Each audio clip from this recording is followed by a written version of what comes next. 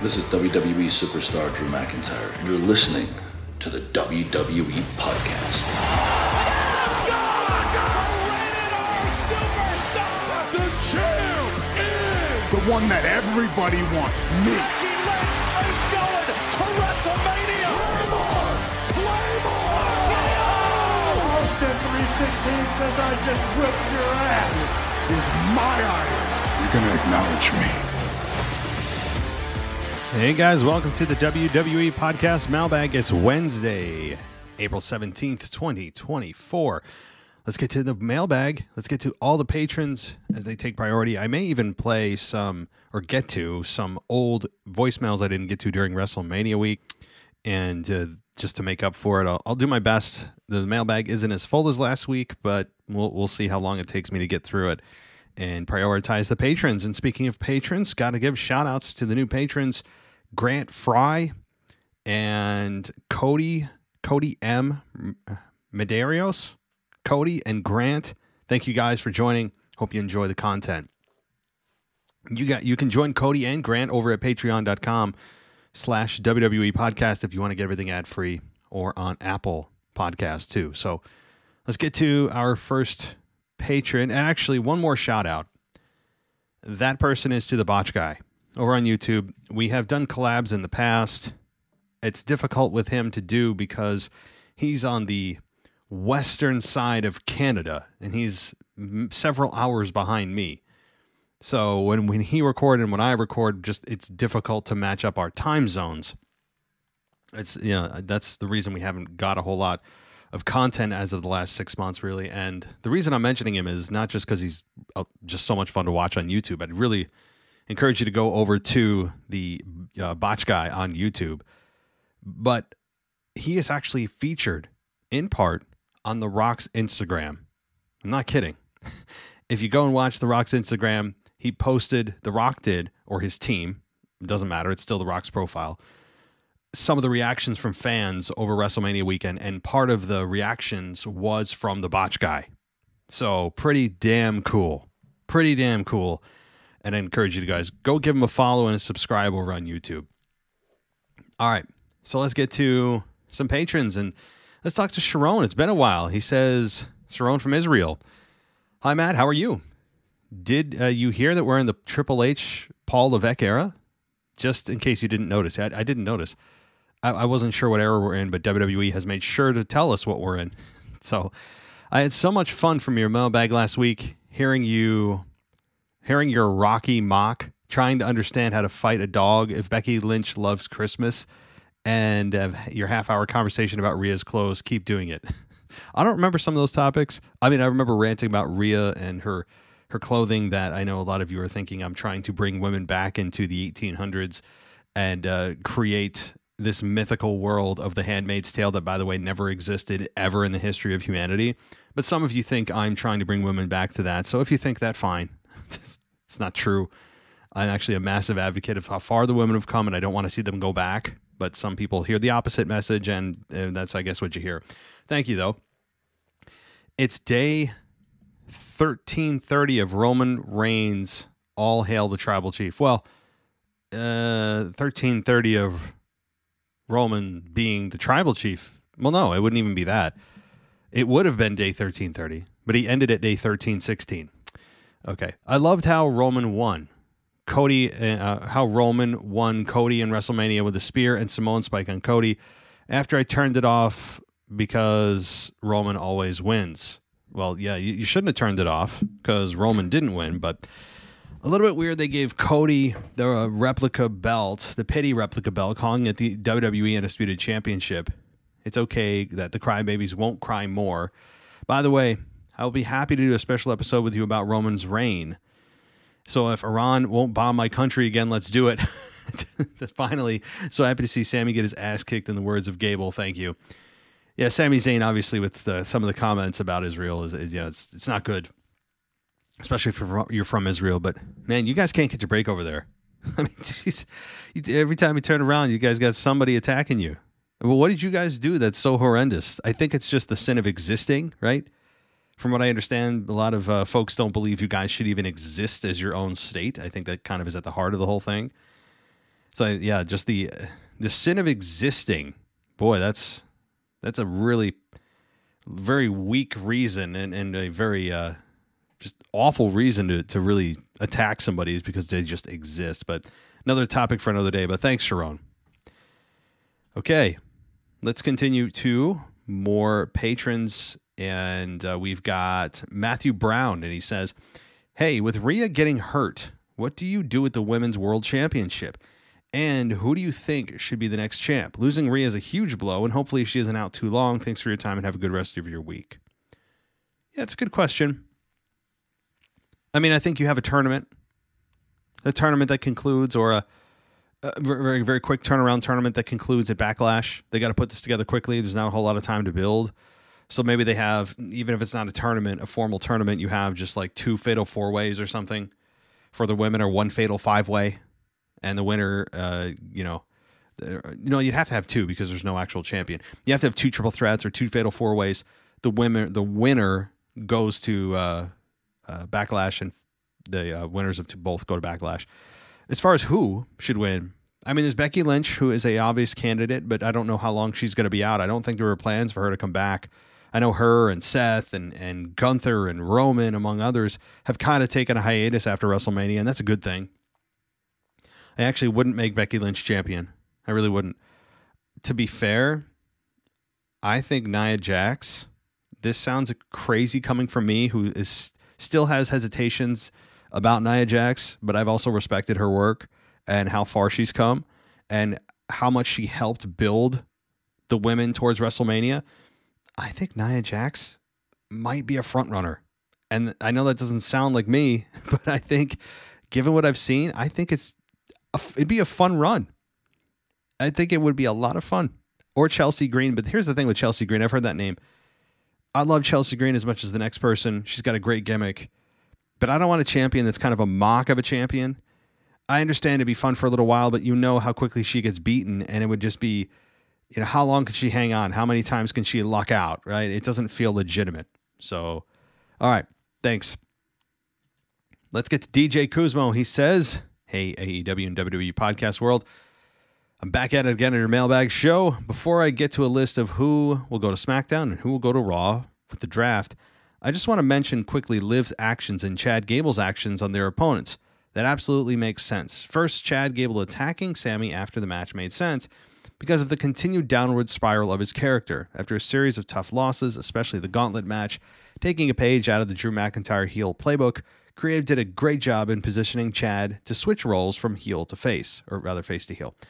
Now to Liv, who got revenge on Rhea after what Rhea did to her last year, costing Liv to be out of action for several months. Interesting to note that this feud between Rhea and Liv goes all the way back to 2022 when they were a tag team. And then after failing to win the women's tag titles at WrestleMania 38, Rhea turned on Liv and attacked her. Interesting to see how long Rhea will be away because there's a lot of history between her and Liv. That creative can use to build up a really good grudge match, which doesn't have to be centered around a championship. I'm all for grudge matches in the women's division. Everything seems to always have to be about a title, which is why I always I, I continue to advocate for a not for for WWE to not implement a mid card title like a, a, U.S. or intercontinental equivalent for the women yet, because I'd like to see the women compete with one another and have a grudge match outside of just fighting over a championship. So that's per, my personal preference, but I also appreciate DJ you bringing up the history that I had forgotten with Rhea and Liv that goes back to WrestleMania 38, and then Liv getting injured, and from Rhea now Rhea injuring Liv, or Liv Liv injuring Rhea rather. So they should hopefully pull from that. That's something I don't know if they've even realized they've got, but it'd be a great way to bring up a you know that fact in their video packages. So yeah, absolutely. So okay. So from SmackDown to Raw, this is who you have: LA Knight, Pretty Deadly, Randy Orton, Bron Breakker, Charlotte Flair, and a bonus is Sheamus. Even though he returned to Raw, he's currently listed on SmackDown. And from Raw to SmackDown, you have Dirty Dom, Becky Lynch, Seth Rollins, the Creed brothers, Shinsuke Nakamura, and Bonus the Indus Sher, because a change of scenery could make a difference. But DJ, I would let's just make sure they don't get fired first. I mean, low bar, but let's make sure they don't get fired first before we have them in any kind of draft. But I would agree, a change of scenery could make all the difference. And to help maybe encourage you that they're not going to get fired, the tag team championships have now been split again. Means there are more teams to compete for a championship. And the Indus Sher could absolutely fit on really either show. Why they are being used consistently is, is beyond me. They have shown every time they're on TV, especially with Jinder Mahal, who had a quick flash in the pan at a championship, they showed uh, promise. And I, I don't know what's happening. But all right, DJ Kuzma signing off. Have a great weekend. See y'all in the Discord chat for SmackDown. Very good, DJ. Thank you. Another patron, Dino. This is Dino from Scotland. He and uh, this is actually D Star. That's what it is. D or Star D Star. Uh, okay, Star D Star. Got it. Who recently upgraded to the Monday Night Raw. So yeah, there you go. Well, I appreciate that. Uh, change the name to Dino. Uh, whatever you prefer. So I've so far I've got three names for you. I can call you just Dino. call you Dino from Scotland. I can call you Star D Star. I, I mean, it doesn't matter to me. just just pick one and land on it. I guess. Whatever. It's it's up to you. By the way, I don't really uh, bother with my faction on 2K either. I just thought I'd take advantage of all the stuff that came with 40 years of WrestleMania Edition because why not, right? I have not dipped into the 2K24 game yet. Not because I don't want to or I don't love video games. I do. But at 39 years old now, two kids, house, cleaning, house projects, I work a full time job. I have this podcast. Uh, you know, by the time the night comes, which is what I'm doing now, I mean, I don't want to do anything, right? Even video games seem like a, a task. I just want to lay in bed and like veg out to Rick and Morty or something. Like, which by the way, guys, if you haven't seen Rick and Morty, it sounds like a stupid show, may look like a stupid show, but it's the smartest dumb show you'll ever watch. I don't know how else to describe it. It is a perfect, just zone the f out show but also not one that's just stupid. It actually has some uh, intelligence to it. So check it out. I really, re- you know, recommend that you do, or maybe you hate the show. I don't, I don't know, but if you haven't seen it, it's a great nighttime show. But either way, I just haven't had the time or really the motivation to say, oh man, I get video games tonight because I'm so damn tired by the end of the day. But hey, my I will eventually get it. Anyway, I have a suggestion for the show. How about a mailbag after dark where people can send in emails for things unrelated to wrestling and or things related to wrestling that's slightly off topic like the whole Rhea Ripley thing. There's also one or two emails I refrained from sending you in reply to various previous stuff you spoke about and featured because it's not really suitable for a wrestling podcast. All the listeners would have to do is put Patreon After Dark in the subject. It'll be easier for you to decipher what email for the regular mailbag is and what it is for the dark mailbag. Ooh. Yeah, I have to say, Dino, you know, you may be onto something. I am intrigued by this idea. I think it's a really good idea, actually. At first glance, I like it. Uh, my instincts tell me this is a really good idea. Uh, some of the drawbacks, because I'm a very just kind of I'm a very I guess realist. Is, is, that what they call us? Yeah. Number one, the reason one of the reasons this may be difficult is simply time. I mean, you you see me struggle at the end of the week to get the mailbag out on time, which has very been been very rare lately. And getting into multiple parts, I haven't got to everyone's emails, voicemails haven't happened in a week or two, right? So I'm struggling to get just the regular content out, much less do another show. But if I could somehow if I could somehow uh, split it and not some not be able to commit more time because I don't know if I have any, any more time to commit to to the podcast. I don't. I really don't. Then I'll be able to do it. Like in other words, if I instead of doing two parts to a mailbag, I just do one part. It's an hour. What I get to is what I get to, and if I don't get to you, I don't get to you. You know, especially for those that aren't patrons. But the dark mailbag could just be where part two usually picked up, and that way I'm not recording anymore. It's just replacing part two of a typical mailbag. It's a thought but yeah, I mean, a lot of stuff I talk about is not wrestling related when I do have the after dark stuff. And I'm sure that yeah, if you if you put it in, I wouldn't talk about that in this mailbag. You're right, because the after dark stuff is meant for the uh, the you know, people behind the paywall. But I like it, Dino. Just stay tuned. Don't send anything in yet. But let me figure out the details and logistics of how we might be able to make this happen. Okay. I like it. I like it. Okay. Quick point on Michael Cole. In my opinion, he's the greatest of all time, certainly in my lifetime. And that would include JR. But I feel like Cole just edges it for me. The man is the GOAT. He's fantastic all around. And I feel like once Michael Cole retires, he can't be replaced, or at least it will be very hard to replace him.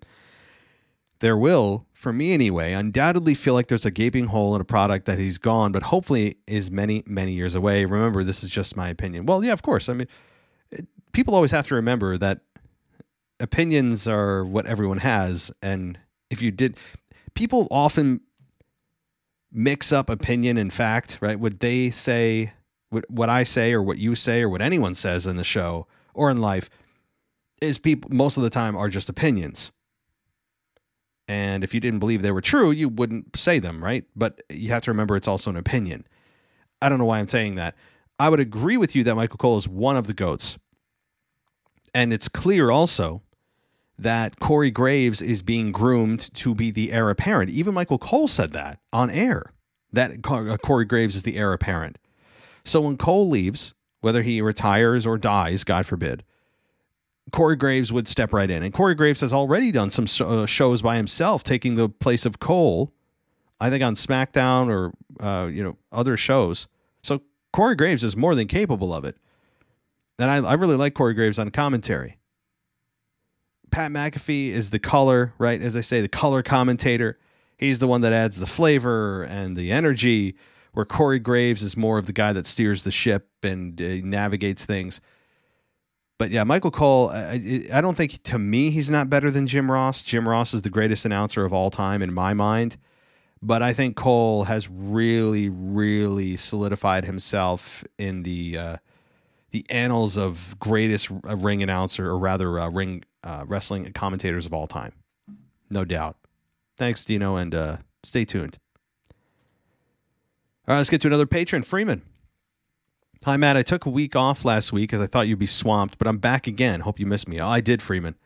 In fact, most of the week last week, I was hiding it for from my friends and my family, and actually you guys. I had to really, really try to hide it on air. I was weeping uncontrollably in between shows, and um, I had to take actually a couple days off work. Friends were asking me what's wrong. I had my my my uh, my wife, you know, say, "Are you okay? You're going to make it through the day?" And I, I just was sobbing uncontrollably. Uh, my head is in, was in my hands and going through boxes of tissue. So Freeman, thank God you're back. You know, thank you so much. um, I think we need to remember how much of a good move Legado del Fantasma has been for Santos. His character has truly come into his own. I think we need reminding of how bland and stale he was before and how much this is moving away from the LWO has done for him. It has, absolutely. But I would also argue they kind of cooled him off. I didn't he just lose a match clean last week? You know, he also needs more mic time. Santos to me, I totally agree is more relevant, infinitely more interesting when he's uh, not in he was that bland version of himself. But I, he but he and WWE need to figure out how to move forward here. They've got something. Now they need to figure out what to do with it to progress it. And if Ricochet wants to start an argument, just point to Santos and say that's how his character that's how character work is done and what it can do for a wrestler. Santos went from bland babyface to extremely entertaining very quick. Not saying Ricochet should turn heel, but maybe I am.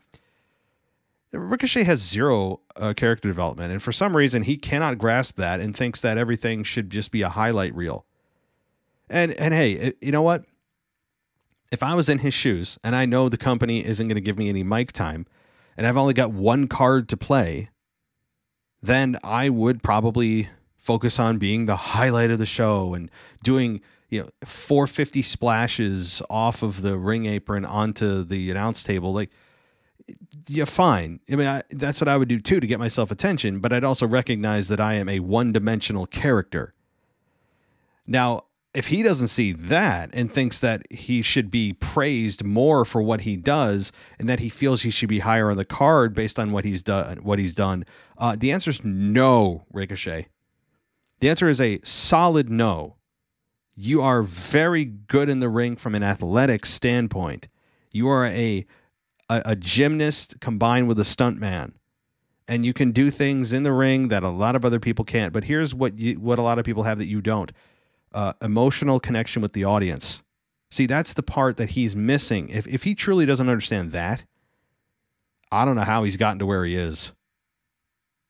But I don't know. Maybe a heel turn for Ricochet would be the best thing. But right now, I think he's just. You know, you even watch him on Twitter, and, and he just he acts like a child on Twitter, or X. He acts like a child.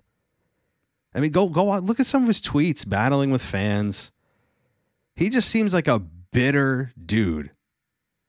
He just feels probably like he's deserving of more because he can do more things in the ring, not recognizing that what you do in the ring is not nearly as important as what you do on the microphone and how you conduct yourself with fans.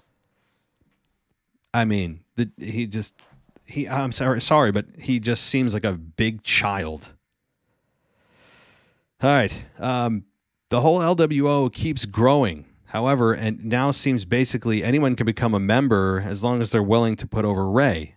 That guy is such a deadbeat dad. He refused to even give his own son the rub at WrestleMania, instead of giving it two complete nobodies, giving it to two complete nobodies nobody cared about, which annoyed me more than I care to admit. No, I I, I absolutely think Dom should have won. Why Ray's team won made no sense. Ray already beat his son last year, so in the tag match, at least gives his son's team the victory. They gained nothing from having Don lo- Don Don. My God, yeah, Don. Dom loses way too much. Even though the crowd still boos him out of the building, and you could argue, well, they're still reacting the way they are, but it could be even better if he never loses and sneaks out victories, cheats to win, mouths off about it. He gets his ass kicked way too much. All right, let's continue. Um, but uh, no, as far as the LWO, yeah, there's too many people. It feels like the NWO a little bit from you know back in the day when it got watered down. I would say let's cool it on people joining. I would agree, yes. Also, if you want to know who attacked Dragon Lee, why don't they just ask him? He was stood right next to them when they were discussing it on SmackDown, but I suppose it's easy to get lost in the crowd. That group is too big. Yeah, it's very logical. just to ask him. Oh God, yeah, no. Um, with the draft coming, near any everyone is talking about who will be moved, but I think they'll use this as a time to prune some of the roster as well as to make it make some space for the NXT to move up. Do you think anyone will be released from their contracts? Dexter Lumis as well as Nikki Cross seem like strong possibilities, but I'm hoping the LWO gets pruned down from its 5,000 members. Well, I mean, who are you pruning from LWO? Like Dragon Lee? I, I don't think they're doing that. He seems to be a bit of a focal point for up up and coming star. I mean, I don't, I don't know. I mean, yeah, I would I would agree. Dexter Lumis and Nikki Cross are probably on the chopping block. I would be very concerned about the Indus Sher, um, maybe even Jinder Mahal from being on the chopping block. But it is a very cyclical thing right around WrestleMania, right after WrestleMania, that they do this uh, this trimming, as you call it, right? It's uh, it's if I was on the roster and I haven't been used in several months, I'd be a bit, I'd be a bit on the edge of my seat. All right, Freeman. Thank you. Let's go to Charlie from Milwaukee. He says, Matt, you gave us homework last week to make early predictions for WrestleMania 41. Ooh, okay. You actually got your homework assignment in on time. Good job, Charlie. Okay. Sami Zayn versus Kevin Owens for the Intercontinental Championship. Wow. So you think Sami's going to keep it that long? Okay. I mean, it's not crazy. Number two, Creed Brothers versus DIY for the undisputed tag team titles. Well, you got to just tell me which one because is it the world? Or the you're saying oh the undisputed okay. Yeah that's plausible. Gunther versus brock i would agree that's a wrestlemania worthy match. Cody versus seth for the undisputed wwe championship in a 60 minute iron man match. I would say yes but no 60 minute iron man match. They're not going to dedicate an hour to that. You know each night is four hours. They're not going to dedicate one of the nights with 25% of that night being one match. But I think Cody versus Seth could absolutely happen next year. I don't want Rock Cody at WrestleMania next year. It would be great as if I went to a had WrestleMania season without actually knowing ahead of time a year in advance who Cody's going to face. That'd be great. It'd be a lot of fun. All right, Drew McIntyre versus CM Punk and Hell in a Cell for the world title. I would say yes, except it feels like they wouldn't be able to string that that far. Like Punk is slated to come back, you know, June-ish from his injury at the earliest. And that means like what are they going to do? Build from Drew and uh, Punk from June to Mania? I mean, like that's that's impossible. I mean, that's not impossible, but very unlikely unless they have like one match and then they both go off on their separate paths and then reconnect at the end of the year. LA Knight versus MJF versus Kenny Omega for the United States Championship. Wow. All right. Love it. But do I think it's realistic? Probably not. I, as much as I want MJF in WWE, AEW is learning what an MJF list company looks like, and they're surviving. But I don't believe that MJF has re- has signed with WWE. It's my understanding he has quietly re-signed with AEW. And if I was Tony Khan, I would give the dude anything I want, anything he wants, as many zeros as it takes on the check to sign him. And I think that's probably what has happened. Now, is it possible that WWE snuck in at the last second and blew him away with an offer? It's possible, but unlikely. Karrion Kross versus Aleister Black. I like that. John Cena versus Randy Orton. I do like that in a farewell John Cena match. I think that's very appropriate. Bianca Belair versus Rhea Ripley. Hallelujah. Yes, Charlie. Yes. For the Women's World Heavyweight Championship in the main event of night one. Yes. Please. That's a match we've been waiting for for years now. Number 10, Roman Reigns versus The Rock in a head of the table match to main event night two with Stone Cold Steve Austin as the special guest referee. Ooh, yes. Bring in Austin like right away. Don't even you know, don't even uh, tease that he might come in. He might you know do what he was supposed to do this year because it didn't happen. Him was the as the referee would be a lot of fun because guess who's going to eat some stunners at the end? Probably both of them.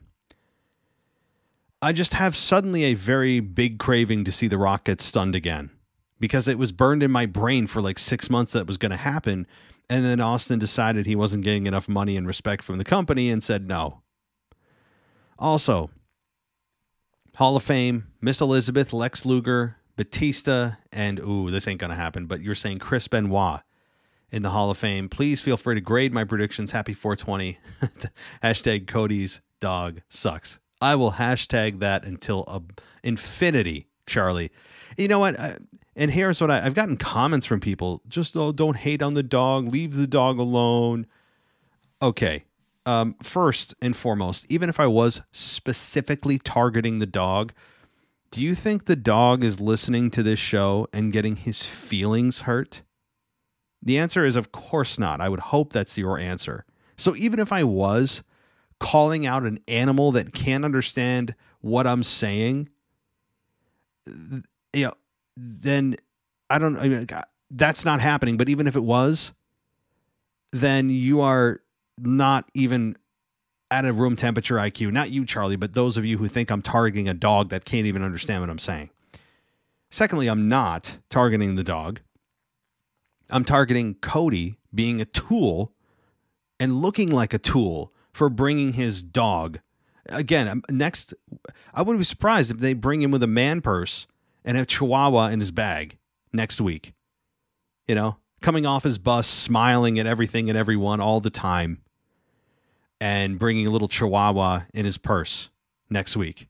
It, would it not fit Cody's character? He's bringing his stupid dog, and it's only stupid dog because it makes Cody look stupid. That's why. I know I'm resorting resorting to like, you know, 15 year old insults here, but that's how I feel about it. So I'm not targeting the dog himself. The dog can't understand what I'm saying. I'm targeting Cody and the creative around bringing his dog and his handkerchief and all that nonsense. All right. But uh, as far as Chris Benoit, no, man. They'll never induct him. Never. They can't. They can't, and it sucks because if you are if you can separate the two uh you know he Chris Benoit had one of the best wrestling careers in history and he was one of the best technical wrestlers one of the hardest workers in the company both when he was in WCW and in WWE um it just he has done something so horrific that you can't separate the two you just can't do it, it it'll never happen Never. And I, I don't say that lightly because a lot of times, oh, they'll come around. Oh, this person comes around. Yeah, that's like usually personal beef, right?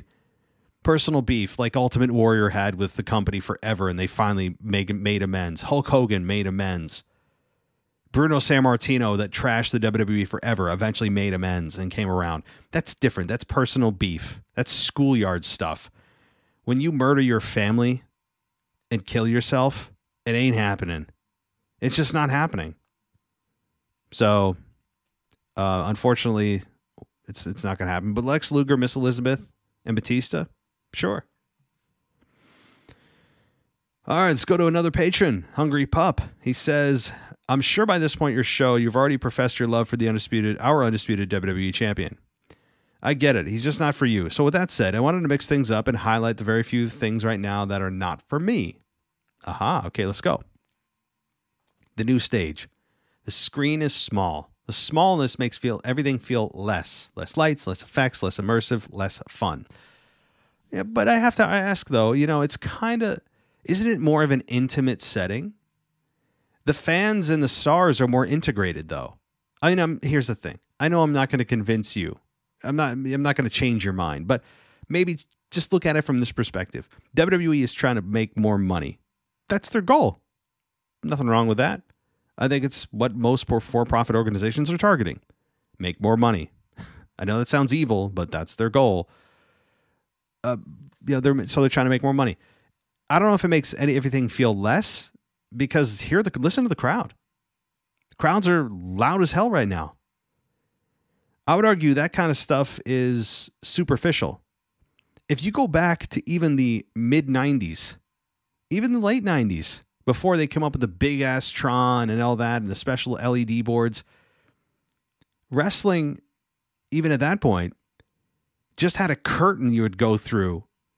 No special effects, no you know uh, AI animation, none of that, and it was still awesome. You go back to when wrestling was very successful in the 80s, even the 70s. Smoke filled arenas, no special effects, in some cases, no music. And wrestling still kicked ass and sold out. So, what's making it successful? Is it the LED boards? Is it the special effects? Is it the AI? Or maybe it's the emotional connection that fans have with talent. That will and will forever be what makes wrestling successful. Sure, it can be a more fun experience to the brain, right? To to the eyes. It looks more quote unquote professional. It doesn't look so you know, bush league. But if you care about who wins and loses, eventually those things don't matter. Usually we see bigger, better, brighter, more technologically advanced. And it says it seems like WWE over the last several weeks has taken the opposite approach from a visual perspective, but also they know that they they're still selling out. They're doing something right. So I, I totally understand what you're saying. It, I don't know if it's less immersive, but whatever they're doing is working. All right, Jey Uso, he's repetitive to say the least. Every aspect of his character, from repeating the same arm swings and music in his entrance to repeating the same same move, the super kick, and even repeating the same corny word "yeet." At least his finish isn't repeating a generic spear or anything. it, here's the thing, yeah, Jey Uso. He, he's still he's still main eventing Raws though.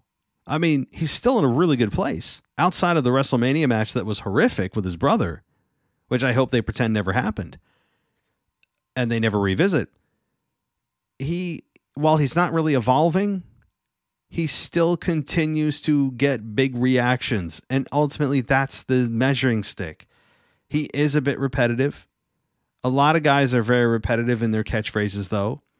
Jey, uh, what you know, we'll, see what they do with him after his brother's program, where they go with him. He has a world title match for God's sake, so something's working. And I hate the super kick with a passion. Now I would agree it is a it has gone from super annoying to I despise it. That's how much I ha- what the what the uh, Usos have done with the super kick. They have made me despise it. So Pete Dunne. I mean, nothing says uh, excitement like a guy that trudges to the ring, snarling and bending fingers, all while never abandoning his cardboard facial expression. I, you know, I would agree. The guy's not interesting. I remember somebody else wrote in about his, you know, his, the, the issue they have with the twisting and manipulation of fingers. It is, it is weird. It's not. It, it's not exciting. He doesn't get you excited. So I don't know what you do with this character. He does feel like El Generico, does he not? He does. But he's also technically sound. He does have something there. I don't know what it is. Uh, you know, when they had Butch, he was the rabid dog. Uh, they were clearly mimicking a rabid dog that needed to be caged.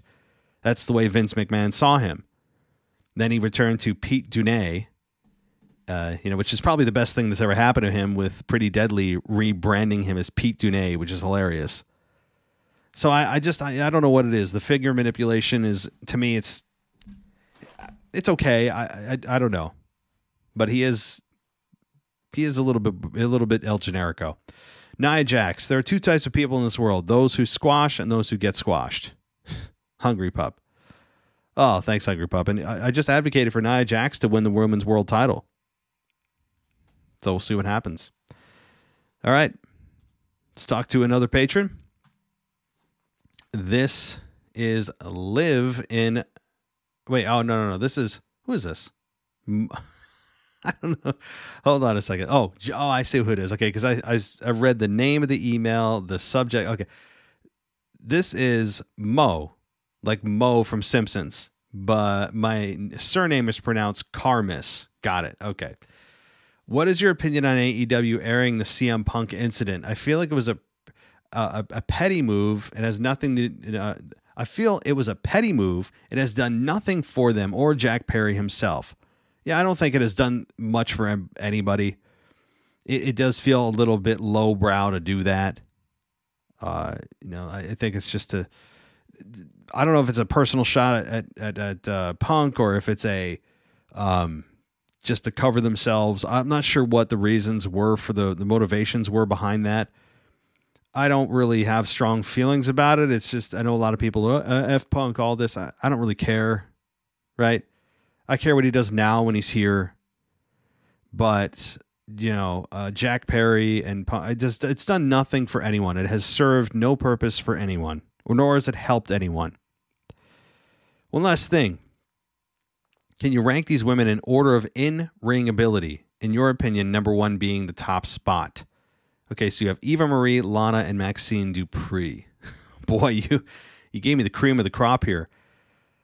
Okay, I would say number three is probably oh boy, Lana. Lana's not good. Not good. I would say number two is Eva Marie, and believe it or not, number one would be Maxxine Dupri. Now, again, these are only the ranking out of these three women, not overall, of course. But Lana just was horrible. I mean, she just was she was bad. Great look, very good looking woman. She, you know, you're hoping she had potential, but she just never cut it in the ring. And hey, it's not easy. I'm not saying she was it was embarrassing. It was just she tried, and it just didn't work out. Um, from what I understand, though, didn't didn't Lana and uh, Rusev get a separation or divorce or something? Something's weird going on there. All right, so all right, Mo, thank you. Let's talk to let's talk to Mrs. Rocky T. And she says, It's been a long time since I've sent an email. First off, I cried when Rhea announced her vacating their belt, but I do believe she'll come back stronger. Yeah, it was emotional.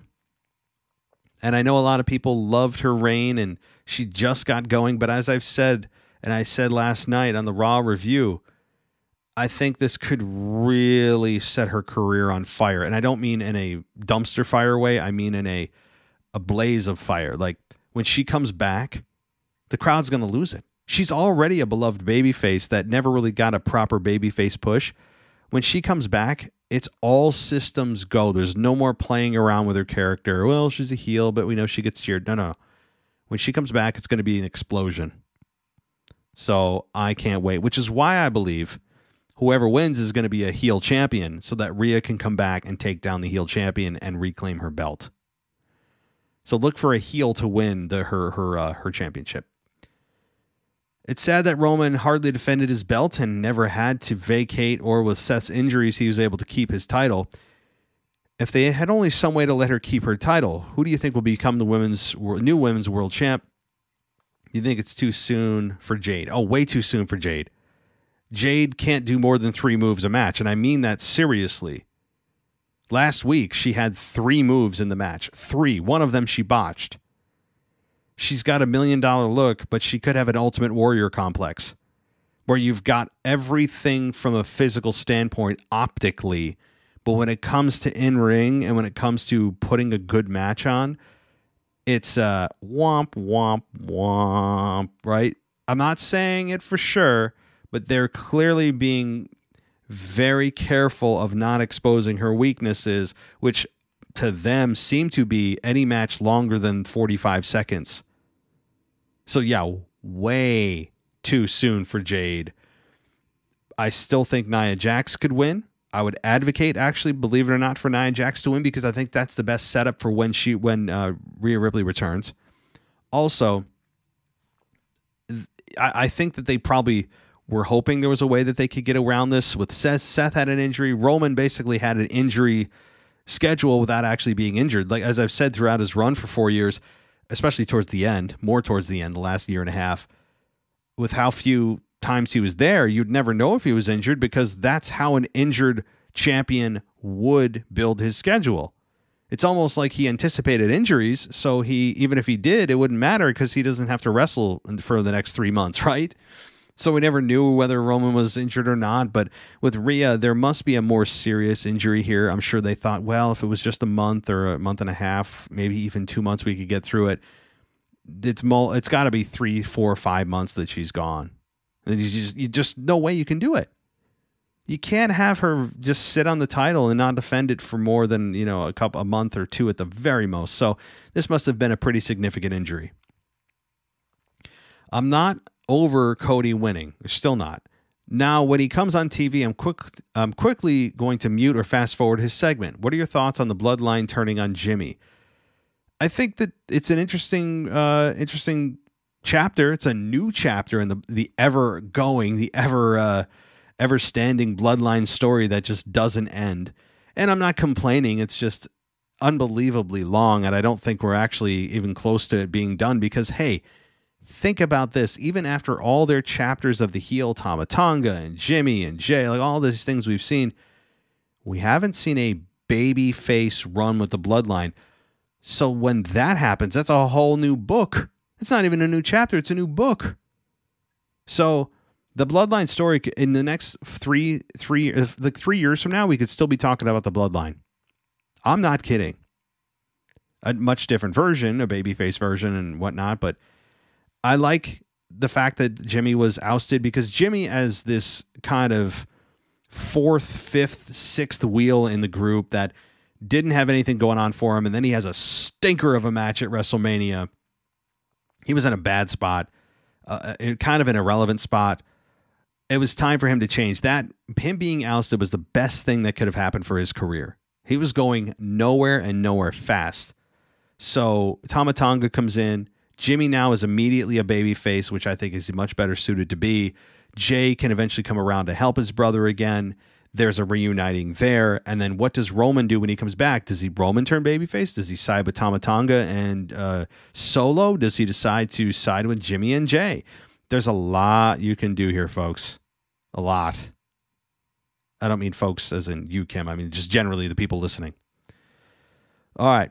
Uh, let's see. Do you think Jimmy and Jey will tag team together? Well, I think I just answered that. I think yes, Jimmy and Jey are going to tag together because clearly, as opponents, they are like really bad. I really like solo, uh, the the road solo. Uh, the, I like the solo road. Oh, I get it.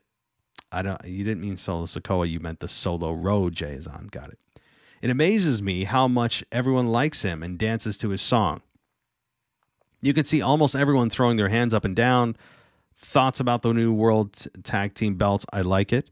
New, uh, nice belts, but not a fan of the red lettering. Well, it's better than the other belts with the red belts. I mean, they have to have some kind of cohesion, symmetry among all their championships. Similarly looking. I ha- I don't mind that they have a similar vibe to them. I, I really don't hate it that much. I, I think it's a visual improvement and it's cohesive. You have the women's world championship, the women's WWE championship, you have the WWE undisputed championship, and you have the world title on the men's side.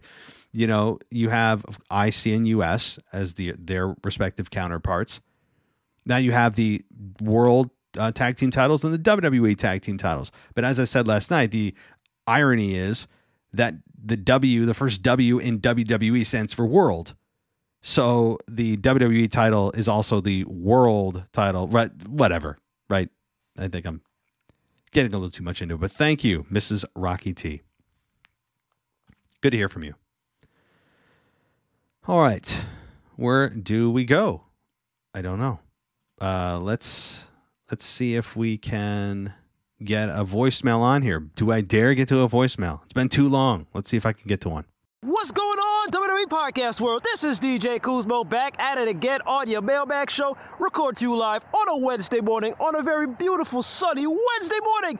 And before we get to the Veer Mahaan report, before we get to the Veer Mahaan report. I know not I know that this is not an AEW Dynamite report, but I just want to I just want to get this off my chest about what happened, the absolute debacle of what I saw last week on Dynamite with the fact that you had the footage that Tony Khan authorized the footage of the all in backstage, you know, stuff that was going on with CM Punk and Jack Perry, aka Jungle Boy, just to help promote the FTR versus the Young Bucks for AEW's Dynasty this coming Sunday. It makes absolutely no sense. CM Punk is no longer in AEW. Jack Perry is in Japan. What was the point of putting this video out there? And now it seems like AEW wants to, you know, find everything in its power to delete that video.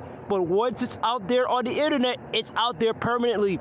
So there was just an absolute debacle. I don't want to curse, but it was an absolute debacle of what happened with this footage of what happened backstage between CM Punk.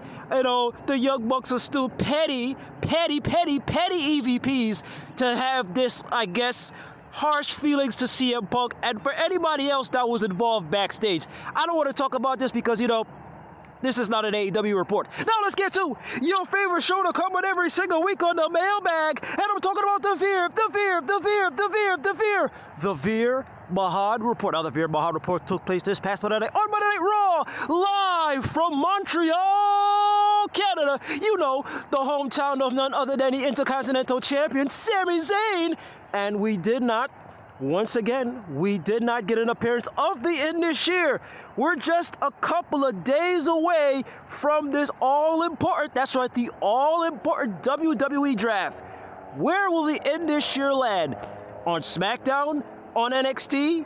Still on Raw, or maybe they may get released. Whatever is the whatever the case may be, my fingers are crossed. Like I said last week, my fingers are crossed as to the whereabouts and the future of my guys of Mahaan, Sanga, and the modern day Maharaja Jinder Mahal. So with that being said, this is your guy DJ Kuzmo. Be kind to one another. Stay see my friends, and peace. Hey DJ, well, I, where I think they should land is employed. That's their first place. That's their first goal. That's their first destination. Land a job. like, yeah, before we start worrying about what brand Indus Sher is on, let's make sure they're employed. okay. But I mean, I'm being half serious. You know, like, let's hope they survive the cuts that usually come post Mania. But though, as far as the footage being leaked, again, I don't think it helped anyone do anything. But what the attempt for that was is called attention. It's called getting people talking. With WrestleMania sucking the life out of the wrestling world over the last week or two, AEW has to try to get some of their attention back, and they're going to try to do that any any means necessary and get eyeballs back on AEW's product and away from WWE. Tall task, but they're trying to, I think, do that with things like that. So it's called "Look over here, guys! Look what I'm doing! Look what I'm doing! Look at this crazy thing I'm releasing for no reason." So I think that's what it is. Thanks, DJ, and let's get to this. Bevan from Australia. Let's find out. Hey, Matt, Bevan from Australia here. On to my third coffee this morning. I had to watch uh, WrestleMania Sunday last night. I was at work and banned myself from all social media and watched it last night. Oh, WrestleMania Sunday was awesome. The first match was great. I loved it. I was, I jumped out of my seat when, um, Damian Priest cashed in. That was hectic. That was oh, I don't know, but like, I feel sorry for Drew, but gee whiz, I don't know, this is just going to add to his bitterness, which I love anyway. Uh, my one question is, obviously Cody's won, and we're going to have a big makeout session on Raw in a few hours' time. Um, kumbaya and all that stuff. And, um, but my question is, he's going to be on Raw, but the Universal Undisputed um, Championship is on SmackDown. So I wonder if Cody's going to also be moving to SmackDown which means we could have another makeout session on Friday night. Because uh, I'm assuming that Damian Priest is based on Raw and so is that title. Else we're going to have uh, the Heavyweight Championship, the Universal Championship, and the Intercontinental Championship all on Raw, which is going to leave SmackDown pretty empty. So, um, yeah, it'll be interesting to see what happens there. Uh, just wanted to say I I agree with what you said about Ricochet. Um, but you, you, mate, you, you just dealt to him, dude. You went full, full, uh, what did you do? You super kicked in, you, um, threw in a 950 splash, nailed him, and I guess the reason why, um, he hasn't responded is you probably put a sleeper hold on him right at the end with your last comment. So, boom, take that, Ricochet. I enjoyed that. I was chuckling a lot, but I was like, go get him, Matt. You're the man. Enjoy your podcast, mate and I've loved this last uh, few weeks with um, lead up to WrestleMania and all that. So um, always, always, always enjoyable. Take care, my friend. Speak again. Bye. Bevan, always good to hear from you, my friend. Hope all is well over there in Australia and you're getting enough sleep, drinking that coffee. And Drew is his the bitterness, the more bitter Drew becomes, the better he becomes. I think that's a great adjective to use. Bitterness, subtle bitterness, but not even so subtle anymore. But the more things that happen to his character, the more negative things that happen to his character, the better he becomes. The more he gets screwed, the more Punk messes with him. It be, he just continues to get better. Drew is awesome right now. I love it. I love what he's doing. Now, yeah, the makeout fests are going to continue. Um, that said, there's a draft coming up in a couple weeks. We'll find out where he lands. Now, Cody, as I've said on this, I think I talked about this on my Raw review. Cody is going to, he's saying he's a SmackDown star, right? But people aren't, or the title, titles aren't drafted. People are. Cody was drafted to Raw the last draw, the last draft. Therefore, the title should stay on Raw until the draft happens, in which case everything always balances out. But they don't have titles drafted to shows, you draft people. So it was weird that he said he was a SmackDown star as if the title supersedes where he lands. Again, the WWE, the, the Undisputed WWE Championship was not drafted to SmackDown. Roman was drafted to SmackDown, right? In the end, though, we know that Cody will probably be drafted to SmackDown officially. Damian will stay on Raw. I think that makes sense. LA Knight's probably coming to Raw. I think that'd be a great move for him. And we can speculate on the other moves coming up. And yeah, as far as Ricochet goes, I mean, I didn't even get to some of the stuff I wanted to say to him. He's just a tool bag on Twitter. He, I just talked about this only 15 minutes ago. He's a he's a 12 year old dude. He's like a little 12 year old trapped in a 30 year old body. I mean, to some degree, all of us guys are. We mature very slowly, and sometimes we never mature at all. But if you're working for a multinational or a worldwide organization that pays you very well, why are you going to go on social media and battle with the people that are paying your salary. It just makes no sense. And then he feels entitled to a lot of things that he's not getting, but yet at the same time, seemingly doesn't understand why he's not as successful as he feels like he should be. Because I can do cool stuff, I can do stuff nobody else can do. Uh, okay, but can you connect with the crowd? Like, can you just cut a good promo? I think the closest he got was in the program with Logan Paul. So it took a YouTube star to bring him into somewhat relevance, and then he goes back to obscurity. Honestly, his girlfriend is more over than than he is. I mean, just fact. People emotionally connect with his girlfriend more than him, and she's never even cut a promo. That's sad. But Samantha Irvin is awesome. I mean, she is. I've been singing her praises before it became cool to praise her. Anyway, thanks, Bevan. I hope all's well. Hey, what's going on, Matt? Uh, this is Kevin uh, calling from Oakland, California. Uh, big shout out to your podcast. Uh, big fan here. Uh, but man, what a what a crazy WrestleMania that we just went through, man. Uh, I mean, we got new champions. Uh there was a whole a huge turnover in, in the in the whole company, and I'm really excited to see what's going to happen, man. But um, but let's talk about this though what's that what's that first Roman Reigns entrance that we're gonna see uh from WWE? I mean, he's not gonna be holding the title. Um will Paul Heyman still walk beside him? Uh I'm I'm thinking about this right now, you know. Um and another thing, um, with The Rock now seemingly forming his own bloodline, will we see a name change from his team or Roman's original bloodline? Um, curious to hear your thoughts, man. Uh, like I said, big fan of the show and uh, keep up the great work, man. Take care. All right, Kevin from Oakland, California. Appreciate the compliments.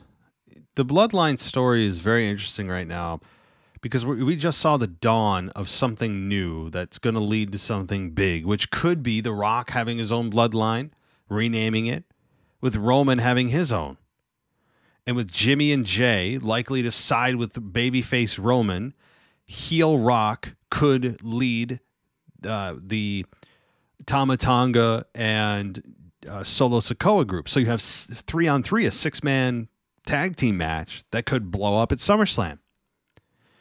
You know, I think that's that's very possible with The Rock siding with Solo and Tonga, and again Roman siding with Jimmy and Jey.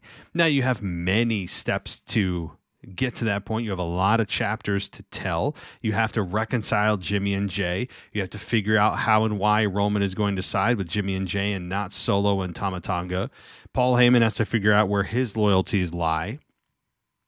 And then you have to understand why, or we have to understand why, and WWE has to figure out why The Rock is coming back to defend Solo and Tama Tonga and not his cousin, and why there's now friction between Rock and Roman you know, there, there's got to be a lot that they need to do to get there. A lot of details to iron out. Not easy to do, but they could get there three on three, and then eventually lead to Rock Roman, which should be this year's WrestleMania. For the love of God, can we not put this away another year? How many years now? like this has been going on. Yes, this was supposed to happen this year with Cody, uh, you know, stepping aside and that whole thing that happened, which is one of the best things we've seen with the Rock character. But for the love of God, can we get to a Rock Roman match? Can we please get to one? I mean, this is. A, I have. A, I'm, I'm very worried that the match actually will never happen. Not because WWE doesn't have plans or The Rock doesn't have intentions to do it, but because life happens, injuries happen, movie schedules change again, priorities change, family, Roman's health with his cancer. You know, things happen. Like I'm very worried with all the um, the variables and the unknowns that we actually never get the match. I just, I, I, mean, after all this, all this debate and push back and forth, and movie schedules got changed, and then the fans turned on The Rock, and now Cody's the main event, not The Rock and Roman. I mean, how many more times before the universe says, "Yeah, this ain't gonna happen"? I mean, we may have to just stick to 2K24 to make it happen. all right thank you. And let's let's get another one or two in, and we'll call it a night. Hey Matt, this is Brad in Florida, and um, just like a little rant. Like honestly, it feels like I feel a little bad for Roman in a certain way, and I know you know in real life he's probably a little you know relieved he doesn't have to carry the burden of that title and all the things that come along with it the appearances, the this, being the face of the company, all of that for a little bit. It's a good thing for him, but you know, just the way they came with this new intro, this new then now together forever, and they have now, um, you know, everyone's talking about the new era, and this is a new era, and where, where you know the past is the past, and now we're on to the future. It almost felt like them getting rid of Roman's title reign was like the last piece of that puzzle and they could finally move into that new era. And it's a little bit like, you know, you could say, oh, Roman was, you know, Vince loved Roman, but Triple H loves Roman too. And, uh, you know, I think, you know, in a certain way, it was almost feeling to me like wiping Roman is the last thing we got to do to like get on with this new era. I, I don't know. I just didn't like it. Secondly, if we really want to go into new era, we have to do something about the music. They have to get rid of this Def Rebel. They have to. Um, Def Rebels had a few good ones. Roman's theme song being a good one. Um, Seth Rollins's being a good one. Uh, I, I think Carmelo Hayes, Trick Williams, but like that's honestly about it. Like there's really not a lot. It, it just feels like generic theme song, AI generated number 40, 482. You know what I mean? They just pump it out and give it to whoever. You know what I mean? I just don't like the lack of recognizability with these theme songs. I don't like the lack of being able to, you know, just really have it hit the mark. Like a lot of the great theme songs, if you think about like Nakamura, Becky Lynch, even Kevin Owens for what his is, Sami Zayn, those are still CFO um, holdovers. You know what I mean? Like it's all of these wrestlers you name me a wrestler, Matt, who got over with a bad theme song, and I would, or an unrecognizable one, and I would argue with you, man, that Cody would not be who he is without the theme song that he has now. No way, no shape, no form. So I know my time's running out. See you later. Um, but they got to get rid of this Def Rebel. They got to figure out a way to do new music. Um, bringing in independent bands, uh, whatever it is. Um, Jim Johnson back. I don't know if he, Johnson, whatever. I don't know if he wants to do it, but yeah, there you go. Thanks, man. I didn't even think of that, Brad. I, I didn't even think about the fact that, that the theme song needs a bit of a reboot. It does seem very generic. At times, it feels like they change it too much, though. Uh, but it's time again, and they need to figure out one that's not going to be a, another El Generico, one that has a standout vibe to it. And I know we all think back to the Attitude Era. I mean, think back to the Ruthless Aggression era, Monday Night Raws, the iconic Raw intros. But the Raw theme does need a reboot. Here's the thing, though, with this new era being ushered in, they can't do everything all at once. And Triple H has said that. You know, like there are things that are much more of a priority to them like figuring out who's going to be champion for the uh, you know for the, the, be the face of the company with Cody being uh, anointed with Sami Zayn being anointed taking down Gunther you know moving forward with Rhea Ripley and now not with Rhea Ripley. So they they've they've got obviously more things to do but yeah sure they have so many people they could probably assign hey uh, hey guys I'm putting a committee together. Can, can you guys just you know here's my digital group. Here's my marketing uh, you know group. Can you guys come up with a great song Send me some samples. I'll come up with, you know what I mean? So maybe they're in the process of it. But I would agree. It's, it's the soundtrack to the show. You do want a, a kick ass song. I would, I would wholeheartedly agree with that. As far as Roman Reigns goes, I mean, yeah, here's the thing. As human beings, we want something until we get it, and then we we uh, we miss what we did, what we had, right? So with Roman Reigns, with him not being champion, it does the company has just a different feel to it it has a different feel. It just does. And Roman, as, as you've said, is probably sitting there taking a big exhale and going, oh, you know, but also probably mourning, uh, you know, not mourning as in morning night, but mourning like as in kind of being a little bit sad that he's not champion anymore on a real personal level. You know, and, and I, I hope he takes as much time as he needs away we're used to him not being here anyway, so no one's going to complain that he's not here because he's not here everywhere. You know, for his, he showed up like you know six times in the last uh, you know year. So Roman not being here is just par for the course. Except here's the thing: when people see Roman this time when he comes back, I think they're going to embrace him wholeheartedly. I think he's going to be a babyface unless they have plans to continue to make him a heel. And the fans aren't going to look at him and go, "Oh, he's just a reminder of every time he's here. It's just a reminder that he's he's holding that title hostage. He doesn't have a title anymore, so there's no reason to be mad." You know. But uh, Cody Rhodes not being as successful, I think there's a there's an argument to be made there. Now we'll never know for sure but entrance theme songs are so important. I mean, it helps Seth Rollins get over it. Like, where would Seth Rollins be on that same note without his whoa song, right? And then you have Cody Rhodes with the whoa in his song, and it's a catchy theme, and people love it. And his entrance is it, it, it is infectious.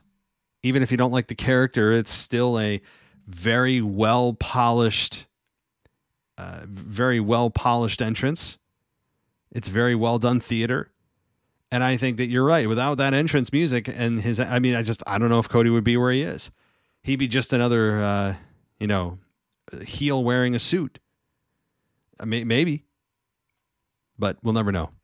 All right, that'll do it for me tonight, guys. I know that if you didn't hear your voicemail, you're like, oh, I didn't get to mine. I see yours. So let me just shout out to the people that I can tell sent us voicemails that I didn't get to, but I will try uh, the next time around here. I see we've got the Alex the French guy. We will get to you. Okay. Um, we've also got New York Kyle. I know you sent us one. So, uh, in, in kind of cleaning up the uh, mailbag, maybe I'll do a, a quick part two later in the week. We'll see if I have time on Friday. I work from home on Fridays, so maybe I'll be able to clean up a, a very quick part two on the mailbag and uh, get through some of the voicemails and any emails that come in between now and then. So if I didn't get to anything, guys, I apologize. trying to cram this into an hour and uh, make it manageable for myself and my life. So thank you everybody for listening. If you want to go ad free and get yourself on the show, patrons got priority here, guys. And you can get yourself priority and ad free everything at patreon.com slash WWE podcast. Great way to do it, or Apple Podcast. Go ad free there. Both offer a one week free trial. If you want to try it, use us for just an ad free week and then cancel, cool. But I think you'll stick around when you realize all the content we've got, all the exclusive shows like the After Dark show, and perhaps the After Dark mailbag. That's not a show yet, but with Dino giving me that idea, we may be able to squeeze that in somehow.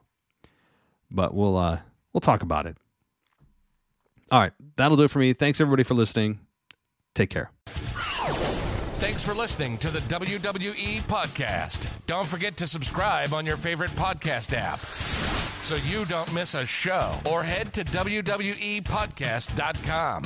And for all of these shows ad-free, head over to patreon.com slash WWE podcast. Until then, we'll see you next time.